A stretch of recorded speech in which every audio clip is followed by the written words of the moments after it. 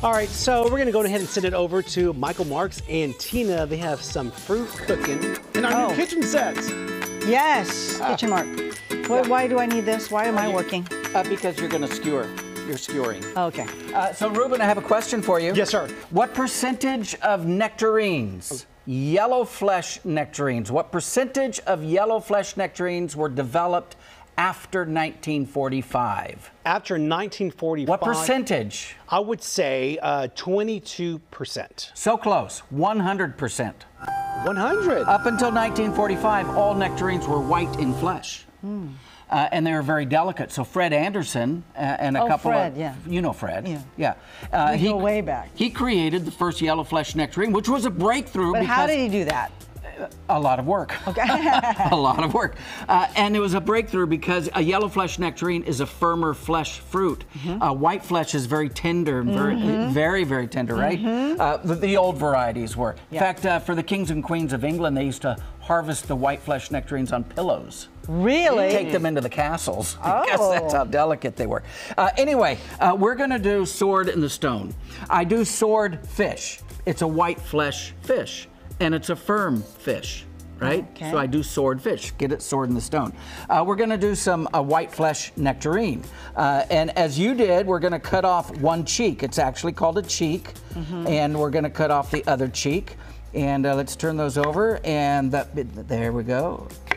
So you got those. Now we're gonna we're gonna put some uh, some zucchini squash on there. Oh, I'm gonna teach you a, a very particular cut. Okay. It's called an oblique cut. Oblique. Oblique cut is like this and like this. See that? Yeah. Or it's also called a roll cut.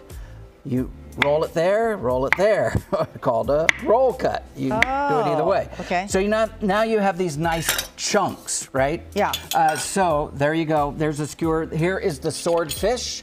Watch out, Tina. I, I, I, yeah, the skewer. Wait a minute. Yes, you want me to touch the fish? Yes, that's why you have the And then glove it goes on. on the left hand. oh, sorry about that. That's okay. Uh, while you're doing that, here's all the other ingredients for our rubbed, uh, our, our rub that's going to go on it. There it all is. Okay. Uh, two tablespoons of uh, olive oil, two tablespoons of apple juice, two tablespoons of uh, rubbed sage. This way or this way? Either way you want. Well, it'll probably look prettier this way. yes, it right? would look prettier that way. Uh, and then uh, a little bit of pepper, This way or some lemon way? juice, whatever you want. it's your doing. Oh, look at I made a boo boo. I made a boo boo. your- well, go that way then. there you go. Uh, do another one.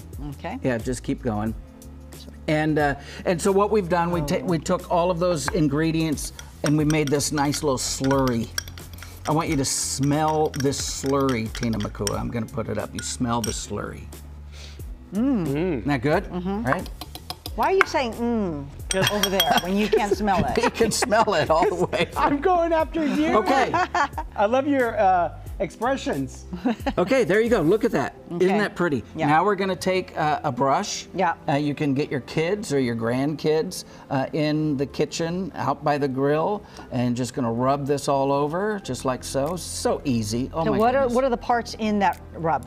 Oh, uh, look right over there. Two tablespoons of olive oil, two Correct. tablespoons of uh, lemon juice, two tablespoons of apple juice, uh, two tablespoons of the rubbed sage, uh, and then a little bit of pepper and a little bit of You always make it simplistic. Two, two, two, two. Uh, it, my mind has to do that. Have I met Ruben before?